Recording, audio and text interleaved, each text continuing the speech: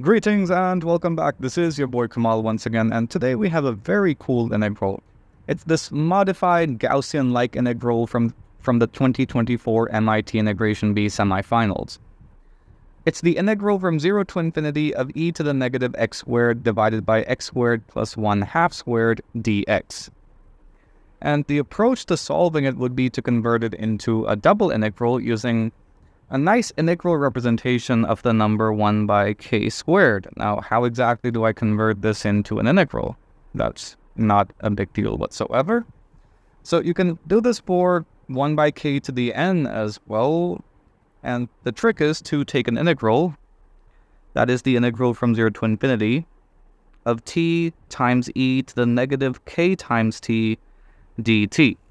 And all it takes is one substitution that is letting k times t, that is the argument of the exponential function, equal to another variable, let's call it u. So this implies that dt equals du by k. So that means we have the integral from 0 to infinity of u by k times e to the negative u du by k, giving us 1 by k squared times the integral from 0 to infinity of u times e to the negative u du.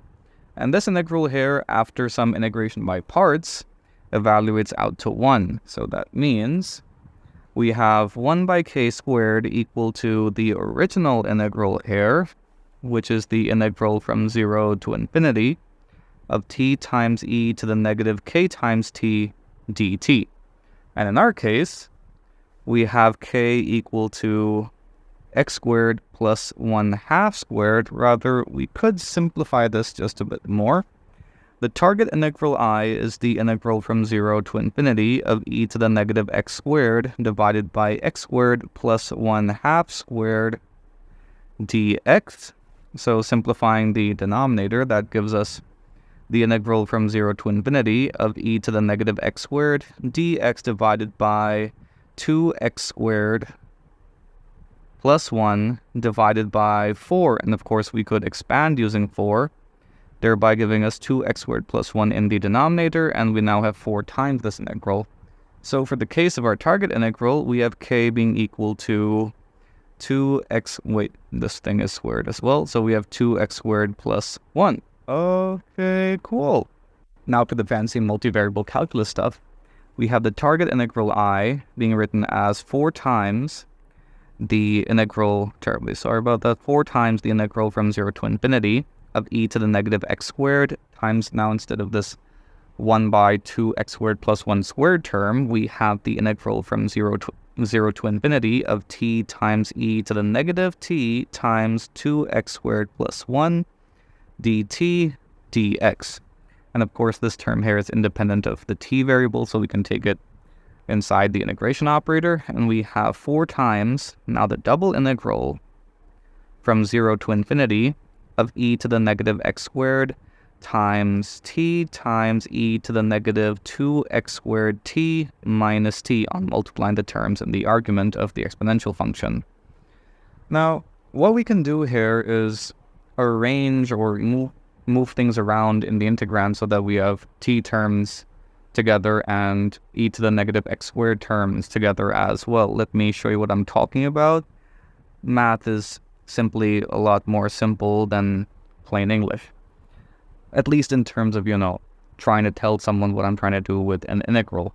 So we have t times e to the negative t from this term here, and we have e to the negative 2x squared t minus x squared, and we can factor out the negative x squared term, leaving us with 1 plus 2 times t dt dx. And now immediately we see a utility in switching up the integration operators, which is something that's completely valid in our case because we have these exponential terms in t and x acting as damping factors over the region of integration, so we know that this thing converges. Okay, cool. So we can switch up the order of the integration operators here. So we have four times the double integral from 0 to infinity of t times e to the negative t times e to the negative x squared times 1 plus 2 times t dt uh, dx dt now. So first we're integrating with respect to x and then t. So that means this term here, which is independent of the x variable, can be taken outside the integration with respect to x operator, and we have 4 times the integral from 0 to infinity of t times e to the negative t times the integral from 0 to infinity of e to the negative x squared times 1 plus 2 times t dx dt. Now this thing over here is actually a Gaussian integral, and we know that the integral from 0 to infinity of e to the negative alpha x squared dx equals 1 half of root pi by alpha. In our case, we just have alpha equal to 1 plus 2 times t. Okay, cool. So all of that means the target integral i is now 4 times the integral from 0 to infinity of t times e to the negative t times root pi by, no, root pi by that thing, and we also have a factor of 1 half. So it's 4 times root pi by 2 cancellation happening, and in the denominator, we're left with root 1 plus 2 times t dt. Okay, cool. So how exactly do we solve this new integral we have? Well, I'm going to need this factor of 2 now inside the integrand, and we have root pi times the integral from 0 to infinity of e to the negative t times 2 times t, and I'm going to expand by 0 here by adding and subtracting 1.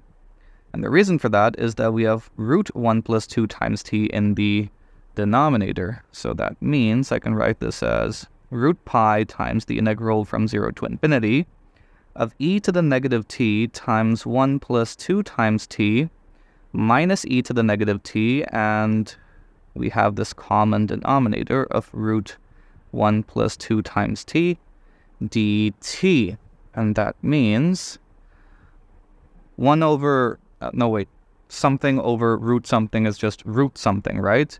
Unless that something is 0. So we have integral 0 to infinity e to the negative t times root 1 plus 2 times t, and we should factor back, yeah, just factor out the, the e to the negative t term, and this is what we have left.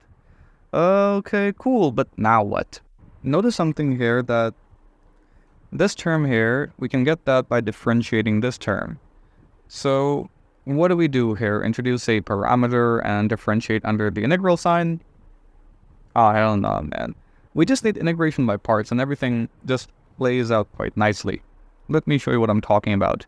So if I write this as root pi times using the linearity of the integration operator, we have integral from 0 to infinity e to the negative t times root 1 plus 2 times t minus integral 0 to infinity e to the negative t times root 1 plus the reciprocal of root 1 plus 2t, that is, dt, and I forgot the differential element over here. Okay, cool.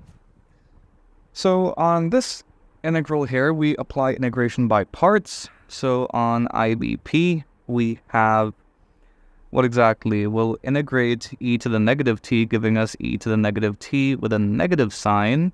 And we have root 1 plus 2 times t, limits being 0 and infinity and we have minus uh, plus sign now, integral 0 to infinity, e to the negative t divided by root 1 plus 2 times t, factor of 1 half because of the power rule, and factor of 2 because of the chain rule, which cancel out quite nicely. And we see that this would cancel out exactly with the integral above, and all we have to do is evaluate this thing in the limits as t tends to infinity and 0. So for t going to 0, rather first for t going to infinity, we have the entire term collapsing to 0 because of the exponential term. And for t going to 0, we have e to the 0, which is 1, and we have a negative sign as well, which cancels out. So we have root 1 times root pi outside. So that means we have i equal to root pi Okay, so this was just a Gaussian hiding in disguise. Anyway, I hope you enjoyed the video. I hope you learned something from the video. Be sure to like and subscribe. Do drop me a follow on Instagram. And in case you like the channel, do consider supporting me on Patreon. Thank you. See you next time.